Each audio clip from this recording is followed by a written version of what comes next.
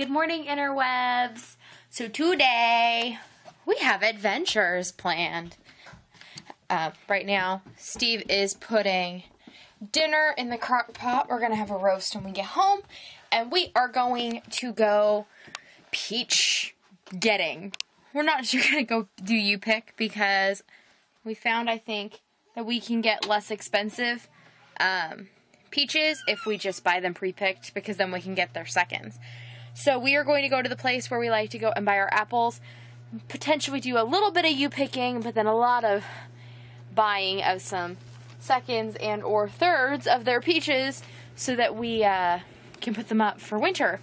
I need to make more jam and I'd like to freeze some more because you know smoothies have been happening a lot lately. Just came up to get another ball of yarn to bring with me because it's like a two and a half, I think it was a two hour car ride. So That'll be lots of crocheting time. And on our way, we are going to stop in Manhattan and go to the um, the Restore, which is like a thrift store kind of for building materials, and start looking for some things for the kitchen remodel that we're talking about doing. Um, even just to see what's available, and then also just see if they have anything specifically that we already know that we want.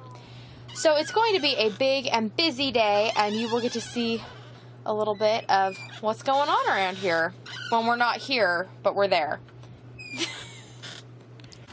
so we're out running errands. We went to Menards, and we went to, before that, we went to the um, Habitat Restore to look at things, and we are piecemealing together our kitchen out of our living room um, and figuring out what we need. Hello, it's about 3 o'clock, and we are on our way to Pome on the Range to get peaches. Um, I'm just sitting in the car right now. I'm doing a little crocheting, and we're actually at a state park. We have a state parking, or like a state park permit for both of our vehicles for when we take the boat out and stuff. And Steve and the boys need to use the bathroom because we went to lunch at Wendy's before we left Manhattan and we've been on the road. So they pulled into a state park, which is a great use of the permit we already paid for.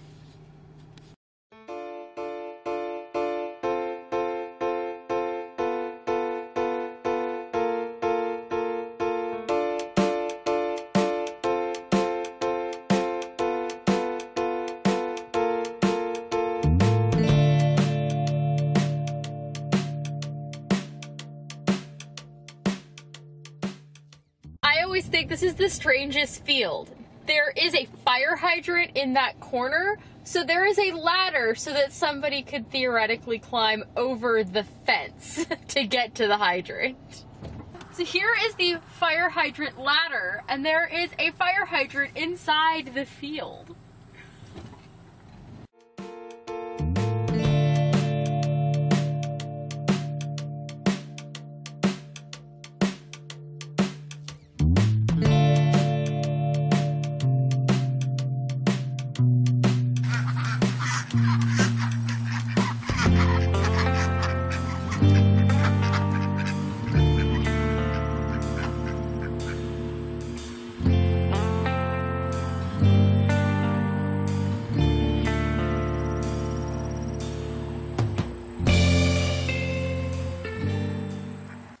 So we came and picked peaches. We got six of these lugs of what are considered, I guess, utility peaches. They're like seconds. They have some little blemishes and things. They don't make them perfect, but they make them perfect for our purposes, which are going to be canning and freezing and such. And then we got a box full of overripes to make jam. So, well worth the trip. Um, a little more of a drive than we might have liked but the place that is closer to us, where we got our peaches last year, has no peaches this year because they had a frost. So this was our option, and now we get to uh, drive home. It was about 10, and we are home, and we have finished dinner. It was very good. We had stuff in the crock pot that we put in this morning, so yay for thinking ahead. Which I have to give credit to Steve, because he's the one that thought of it. I would have thought of it or would have wanted to think of it, but I didn't. And so he thought of putting in a roast, and we did. So that was done when we got home, and our trip took longer overall than we'd expected because, I don't know, we just had more things to do.